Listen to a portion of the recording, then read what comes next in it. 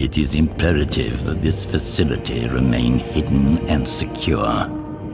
There are many, even within our own ranks, who would consider much of your work an abomination.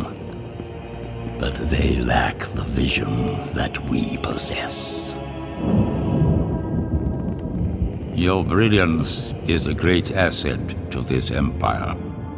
If I am appointed the scientific minister, I would strive to bring unleashed glory to all divisions of the Imperial Science Corps. All in due time. Yes, Emperor.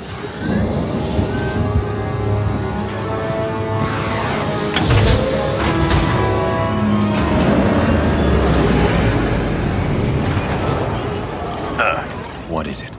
Omega and prisoner CT-9904 are missing. Missing? An alarm was just triggered in the lurker kennels. Seal it off. Activate the ray shields.